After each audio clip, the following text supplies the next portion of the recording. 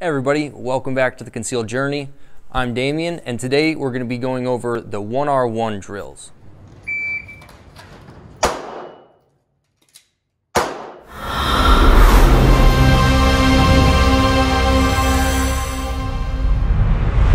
So today with the 1R1 drill, we're going to go over the steps that go through this whole thing. And the 1R1 drill is one shot with a reload followed by another shot. We're going to talk about distance differences, the practicality of it, reasoning behind it, and also some gear that we use when we run this. And I mean, this is typical range gear. So today, um, most days, almost every day really, I'm running an appendix carry style holster with a spare mag available with it. Now this one particularly is from Tier 1 Concealed.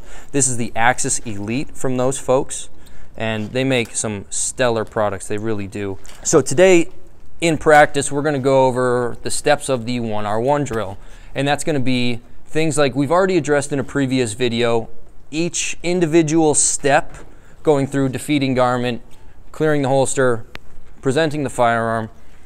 If you're interested in seeing those things actually broken down, There'll be a link here, maybe in the description. So in dry fire, slide's gonna lock to the rear. We're gonna get rid of that magazine, indexing the new mag.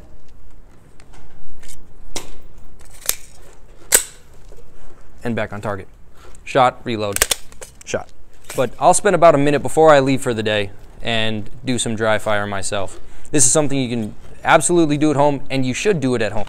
Now going through this, like, like previously in another video where we've discussed all the simple steps going up to actually getting that gun, deploying a firearm from concealment. We'll go over the second part of that, which is going to be necessary for this drill, and that's actually the reload itself. So as your slide locks to the rear, you're going to be getting rid of this magazine.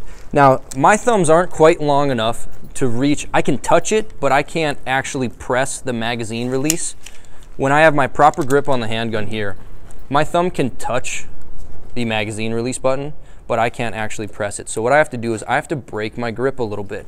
And that comes with, from my support hand, I start turning the gun a little bit. As I notice, I can feel and see that this gun is locked to the rear, right? So I turn the gun just a tish, break my grip so that my thumb can press the magazine release, and I drop free and clear that spent mag whether you're having malfunctions or that magazine is empty, it does no good to us. We're getting rid of it because we need to get this thing back into the action. So from this point in time, as the gun is in our workspace, right? And workspace is about halfway between actually having this firearm fully presented in our shooting position and as though this gun were something beautiful to smell. Halfway between those two distances, okay? That's our workspace. Just slightly below our line of sight so that we can still keep our vision and attention to our environment and situation around us. So that's our workspace. That's where we're going to get rid of that old mag. Then with your support hand, as it's leaving the gun, that mag should be falling as you're going for your second mag. And in this situation, you're going to, once again, defeat garment. Like I said, it's what I do for a living. Defeat garment and index this new mag. And here, I'm putting my middle finger on the outside of the magazine. My thumb is going in between the magazine and my body, and my index finger is riding up what would be the front or the face of the magazine, like so. So as you see, index finger and thumb from this position.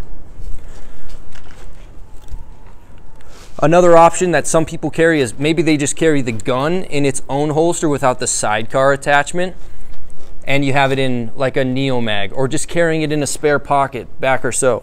Either way, indexing the spare mag is going to be exactly the same.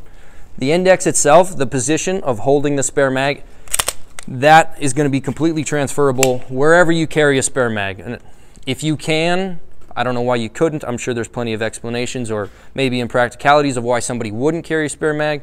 But if I could advocate that everybody carry a spare mag for sure, if your first mag goes bunk, or God forbid you're in a firefight that actually needs more than 16 rounds, spare mag for sure. Now, wherever you carry that or however you carry that spare mag, this is going to remain the same. That's, this mag is falling as we're going for our spare mag. Defeat garment, index magazine, gun is in our workspace. And we're going to bring this gun up. And because humans are naturally good pointers, we're going to point this magazine straight into the mag well. Now, typically, you want to use only your peripheral vision to see what's going on here, but your eyes shouldn't leave your situational awareness, your target, our target, this threat, this cardboard silhouette at four yards. It, our vision should not leave this guy at all. Because in the matter of time it, that it may take me to look away from this guy, to look at my mag well, to insert this mag and look back up at the bad guy, he could certainly already be two or three yards away from the my last known position for this guy. There, then I look down at my mag well and I look back up, he's most likely not going to be still standing there right? Now, you may be asking, why are you doing a reload if you have a threat right in front of you? Let's say you ran dry, or let's say you have absolute catastrophic failure with that magazine, and the fight is still on. You want to keep as much attention downrange as possible. So, if at all possible, use your peripheral vision to index this magazine. I didn't look. My eyes did not break from the target at all as I do this. And that's where the pointing and the muscle memory of the whole thing come into play at that point in time, now this is something that also has some controversy with it, and that's going to be how do we get the slide back home, back into battery? Right, is how do we get the slide back home, back into battery? There are a couple different methods. Now, after you break your grip, you drop that old magazine, and we're bringing new, new mag in. Your thumb is almost naturally already on the slide lock, slide release, slide catch, however you'd like to label it it's already naturally there. So, being that it's already there, you just press the slide release down, sending the slide forward, chambering a new round back in to the action. Another way to do it is as we insert this new magazine coming over the top and releasing it like so. Or using our support thumb to come up and press it down before we press out and begin firing again. Those are three ways you can do it. This one's called like the slingshot, right? You can do it this way, I guess, or this way. That's the slingshot. Using your shooter's thumb to release the slide is going to be, in my honest opinion, the fastest way to do it, most efficient way to do it. The other option is to insert this new mag and come up with your support thumb to release it and then go forward. Either one of those three they all work. What works for you is what's most important because, I mean, like anybody else, nothing is going to be exactly the same for you as it is for me, as it is for them. There's no way. So what's most important is that you realize that this is just rebar for a foundation. It's a guideline. It's just going to be a grain of salt for you to sprinkle on whatever you want, a reference point, if anything. This is not scripture. This is not black and white. It's not carved in stone. This is just the way that we do it.